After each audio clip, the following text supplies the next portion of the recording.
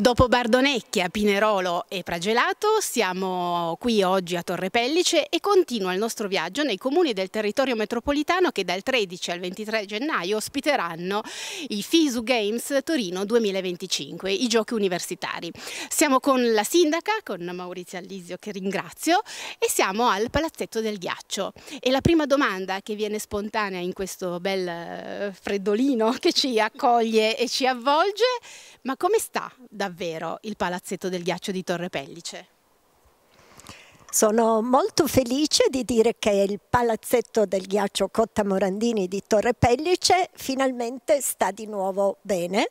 Come potete vedere abbiamo il ghiaccio pronto. Sabato 7 abbiamo aperto il palazzetto con una grande partecipazione di tutte le età, da bambini di 4 anni che si approcciano e iniziano a pattinare ai senior eh, sabato avremo la prima partita di campionato, quindi sta molto bene. Adesso posso dire con, con gioia che sta bene, abbiamo attraversato anni difficili perché, e li abbiamo risolti anche con, ci tengo a dire che adesso la proprietà del palazzetto non è più della regione e in gestione al comune di Torre Pellice, ma in qualche modo il comune di Torre Pellice è il comune ospitante, ma il palazzetto è di proprietà dell'Unione Montana e questo è molto corretto perché l'hockey è della Valpellice, infatti la squadra si chiama HC Valpellice Bulldog, non si chiama HC Torre Pellice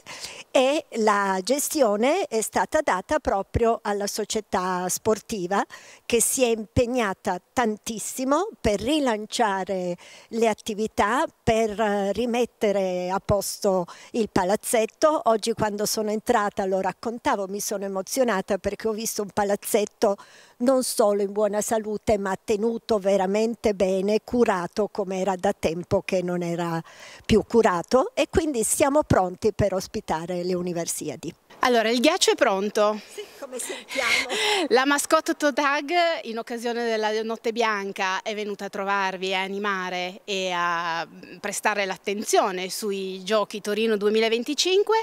quasi tutto a posto, Il, nel mese di dicembre arriverà la torcia olimpica.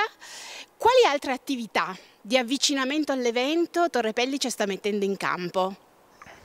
ma stiamo mettendo in campo soprattutto l'avvicinamento delle scuole all'evento delle Universiadi, anche perché a Torre Pellice abbiamo un liceo sportivo, quindi sarà importante che gli sportivi del liceo partecipino, ma anche tutte le scuole, infatti su proposta della FISU